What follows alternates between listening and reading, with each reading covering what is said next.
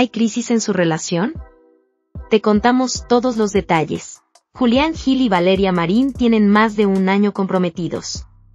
Por ello, sus seguidores en las redes sociales se han estado preguntando qué habrá pasado con la ceremonia y ya se especula. Una presunta crisis en la relación, entre muchas otras teorías.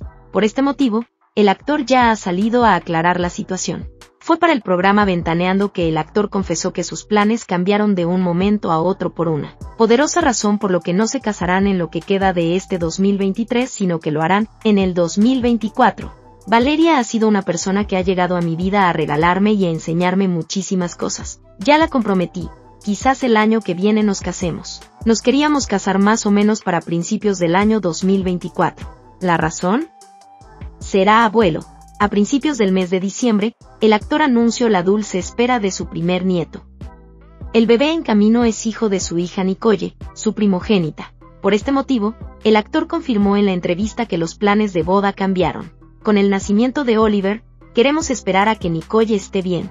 Su familia es primero y Valeria lo acepta. Finalmente, el artista de 53 años manifestó que para dar este paso tan importante en su vida, necesita que toda su familia esté presente.